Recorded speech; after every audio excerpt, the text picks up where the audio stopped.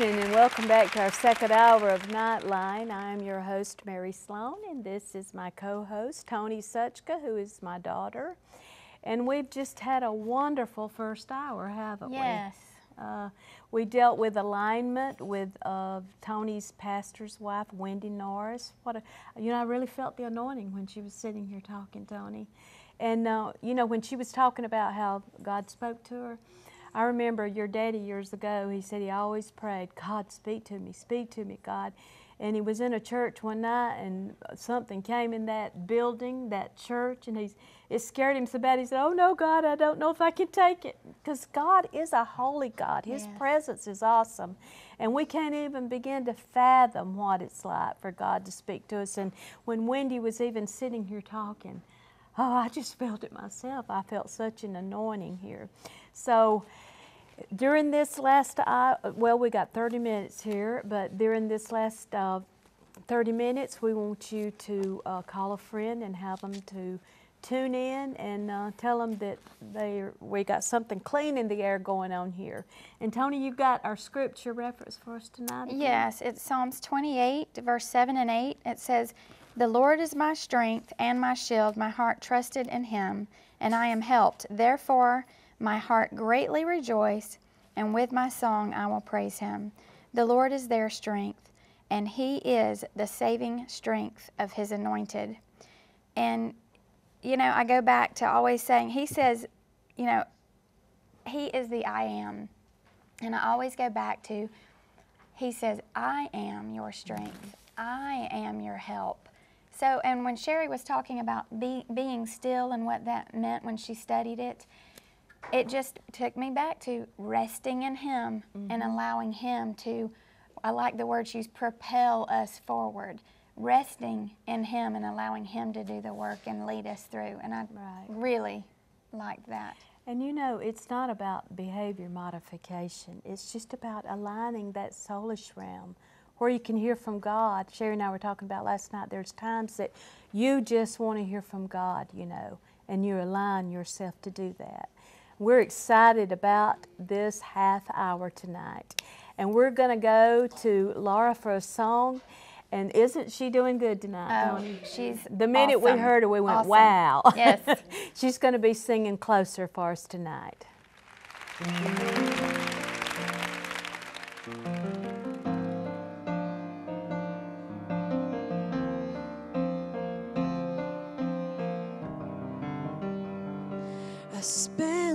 many years on the verge of giving up, wondering if the steps I took would ever lead me far enough. But he's helped me to realize I'm further than I once was. I just keep saying out loud, I'm getting closer, closer to you, Lord. I haven't seen you but I know, I know you more. I keep on walking, still have miles to go. But as I look back on my long and narrow road, I'm getting closer. Been stumbling through the dark, feeling my way around. I'm trying to be that light that I've heard so much about. But though I see just dimly, your light is always leading. I'll follow all the way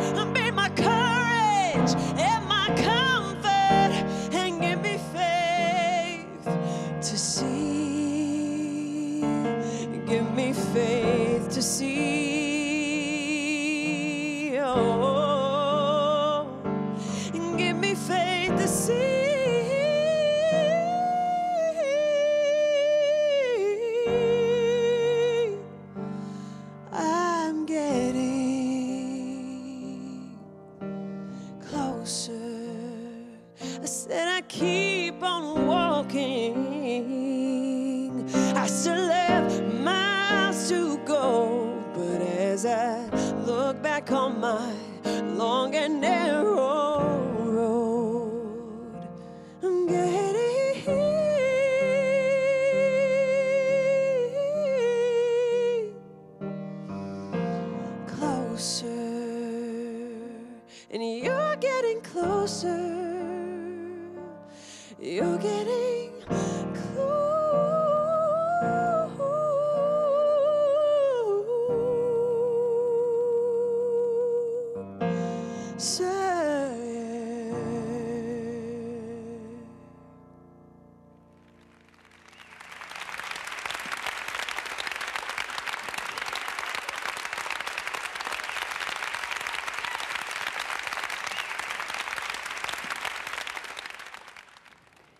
Getting closer. Are we getting closer to Him? I want to talk to you for just a few minutes from a title that God gave me. The title is I Do.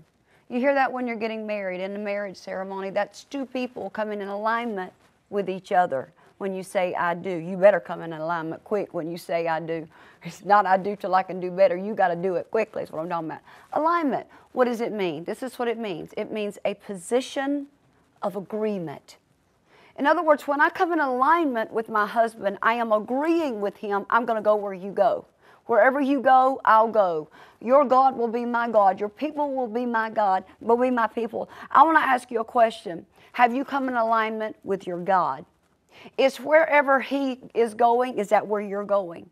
Because, see, if not, then that means that there's division. That means that you're not in alignment yet. That's what it's talking about, really, being married to God. That's important. I began to study and I said, God, where do you want to go with tonight? What do you want to do? And God took me to Daniel, of all places. I don't know why He does stuff like that to me, but He does. He took me to Daniel 11 and 32. What I want to do is I want to extrapolate something out of a scripture. I'm not going to theologically try to explain it because it won't give me enough time. If they gave me time, I could. But I don't want to theologically explain it. What I really want to do is I want to extrapolate something out and I want to take just a few key words and I want to talk about the alignment of God. I'm not even going to read the whole verse as a matter of fact. Daniel 11 32 says it like this But the people that know their God shall be strong and do exploits. Knowing God, being strong, and doing. Know, be, do. I began to ask God about it and I said, God, you need to tell me, show me what you're talking about. Check this out.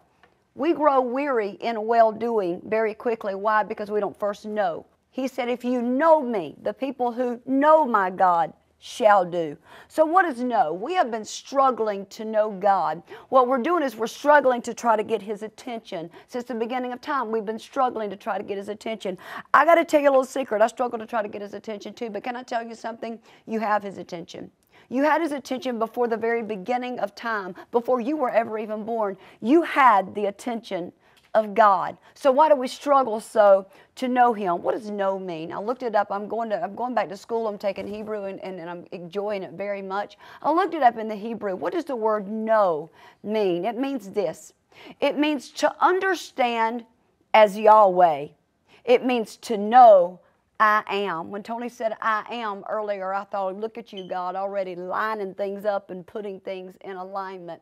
It means the people who know their God, to know Him as I am. Do you know Him as I am, because that's when your life comes into alignment.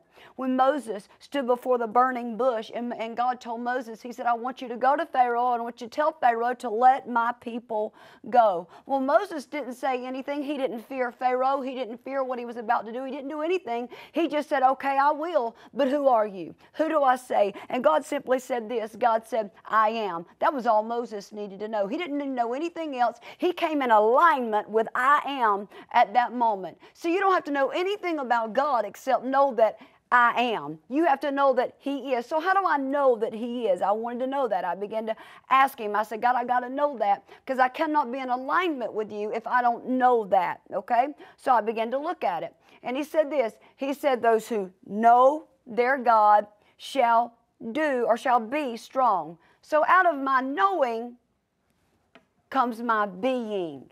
In Him I move and have my being. We're trying to know God without in Him having our being. Once you know Him, then you can be. We're trying to be something, even, even in the church world, we're trying to be something without knowing God. I spent my whole life trying to be somebody that I was not because I didn't fit in, because I didn't like who I was, because I didn't like it, because I couldn't read, and, and because everybody told me everything and I listened to everything that everybody said. But when I know God, when I met Him, when I finally met Him face to face, and I understood that in Him I have my being, in Him I found me.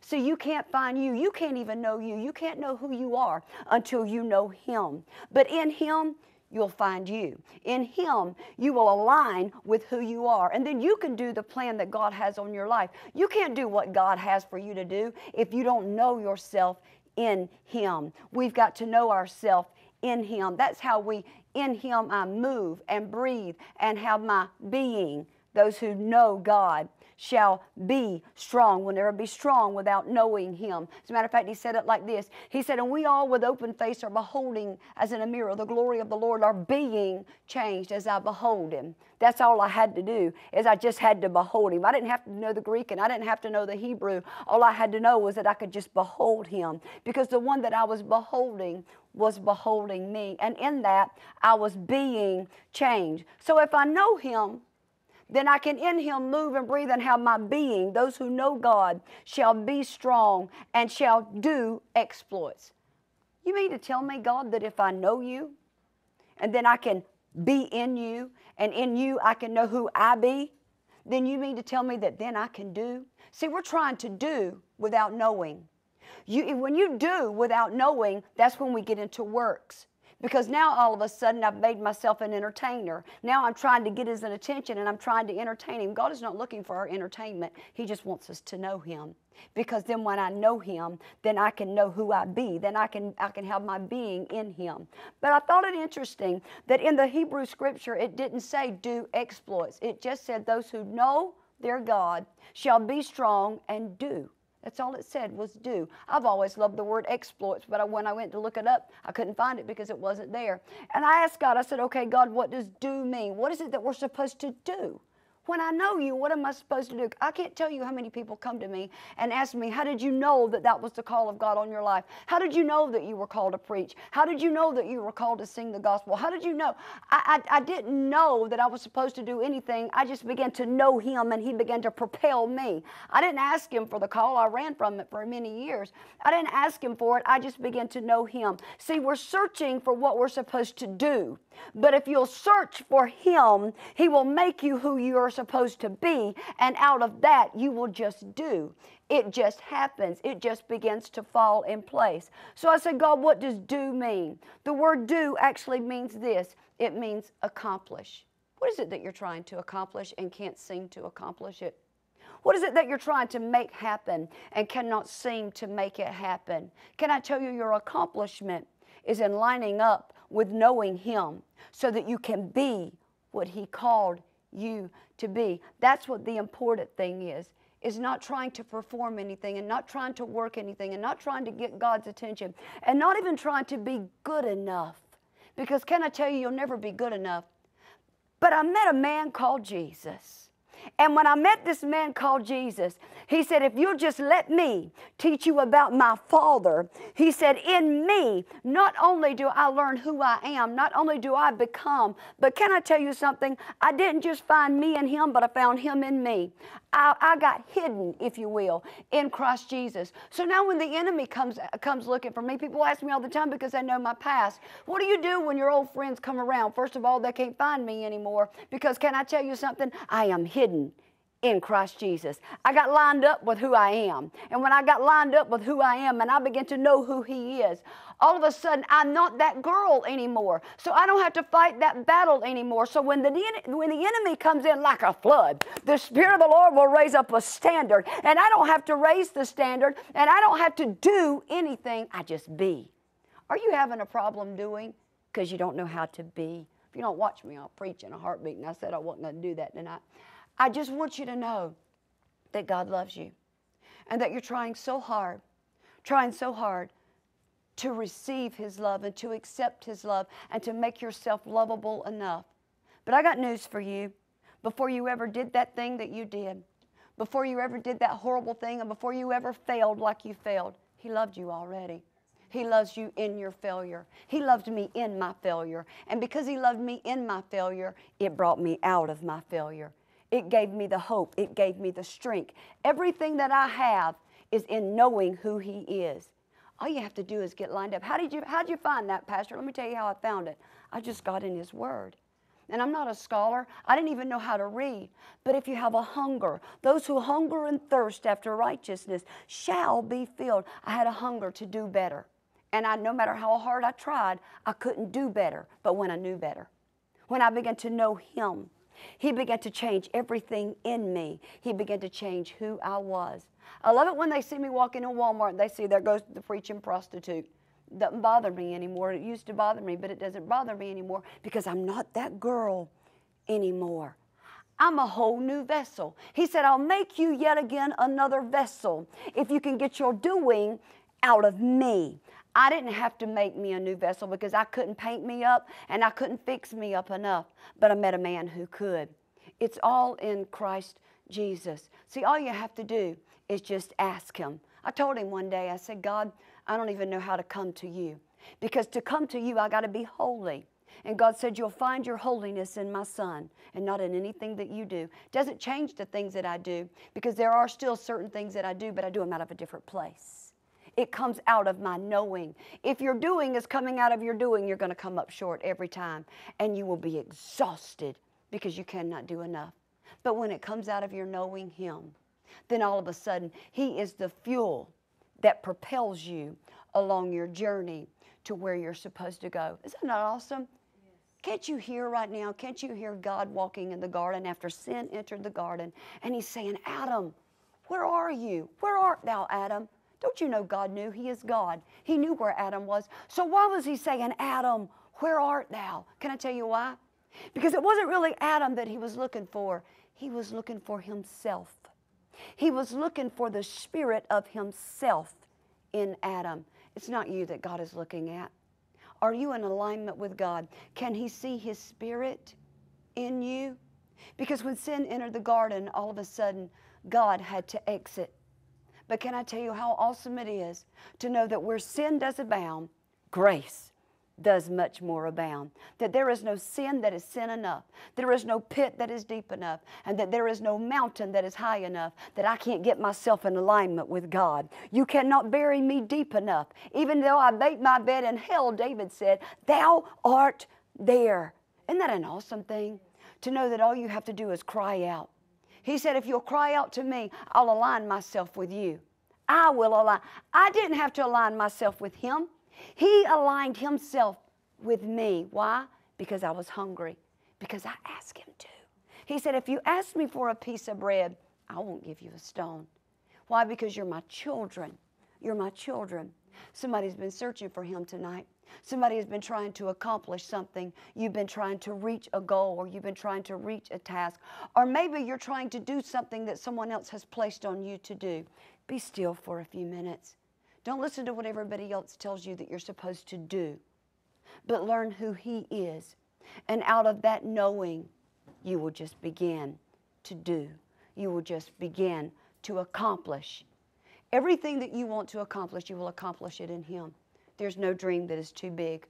There's no dream that is too far fetched that you cannot reach it through knowing God. I encourage you to keep dreaming. I encourage you to keep moving forward. Do those things that you cannot do. Those who know their God shall be strong and shall do great exploits. God has got a plan and a purpose for your life. He has something for you tonight. That's why you tuned in, because He had to tell you all you have to do is know me. Can you get in alignment with Him? How about introducing yourself to Him all over again and say, God, let's start this thing all over again. I'm not coming to you with a false pretense. I'm telling you, I come to you in the name of your Son. And that's all He asked.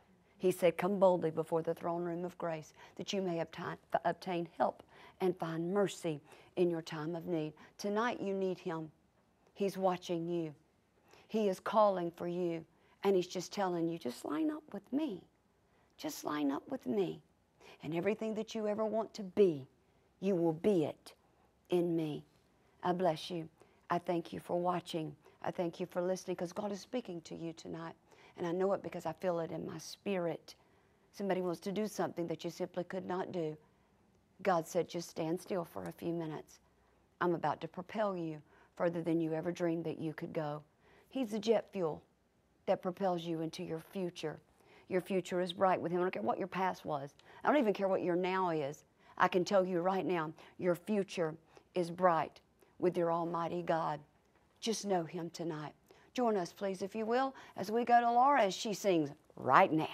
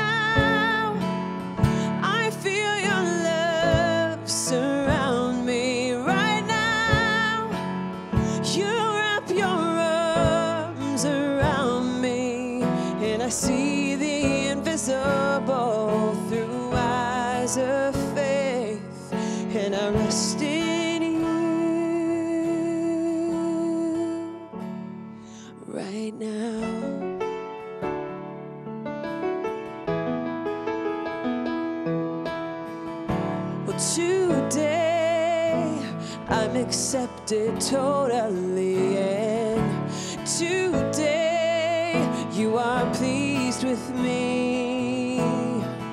I receive this gift of life you offer me. I can live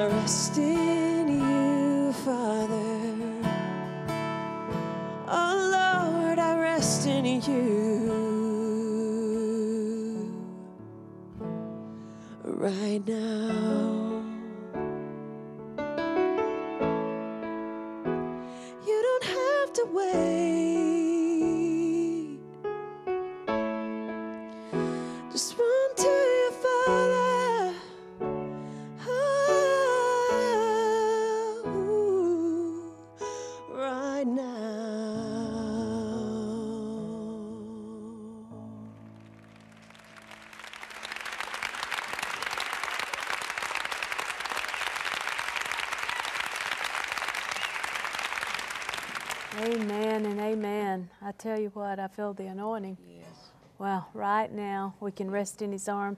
And I was just looking at this scripture here, Matthew 11 28 says, Come to me and I'll give you rest. I'll give you rest. Are you in turmoil tonight?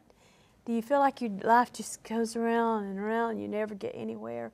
It's so simple. He says, Come to me and I'll give you rest. And I was just thinking about these words today of a song that I'd written called Rest. You talked about rest. She's singing about rest. Mm-hmm. Says, Rest within his arms. He says, Are you hungry? He will feed you.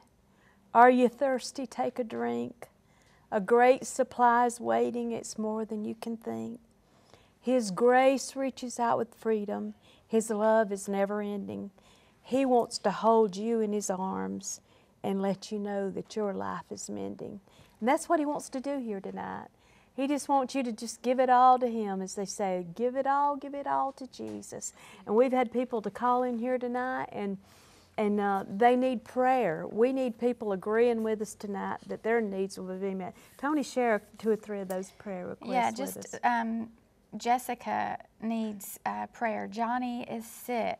We've got um, families that need salvation. Um, we have a daughter who's in the hospital with pneumonia that needs healing. Um, someone needs healing for their eyes, a four year old that can't walk. Um, there's just many of them, Yes, lots of yes. healing and salvations. Well, we just want to end the hour with prayer and be sure and, and join us next weekend for Sherry's three day meeting, March 18th, 19th, and 20th. And Sherry, just just go out and let's just have prayer here tonight, okay, for these needs. Father, we thank you. Every single need that has been brought tonight, every person that is called in, God, you know the answer.